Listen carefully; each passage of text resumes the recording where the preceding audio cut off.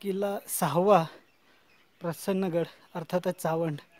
शिवाजी महाराजांनी अनेक गड किल्ले जिंकले. त्यांचे बहुतांदा त्यांनी त्यांचे नामकरण केले किंवा नाव दुसरं ठेवण्यात आले. तसंच या चावंडच्या किल्ल्याचंही नाव बदलून प्रसन्नगड ठेवण्यात आलं होतं.